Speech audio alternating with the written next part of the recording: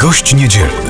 Czym jest szkaplerz i skąd pochodzi niezwykła moc tych dwóch malutkich skrawków materiału z wizerunkami Matki Boskiej z Góry Karmel i Serca Pana Jezusa? A także rozmowa z aktorką Ewą Błaszczyk, która założyła klinikę Budzik dla osób w śpiączce. Oraz w wakacyjnym cyklu Cuda za miedzą. Reportaż z najpopularniejszego sanktuarium maryjnego w Czechach, Swatego Gostynia. Gość niedzielny. Co tydzień nowy.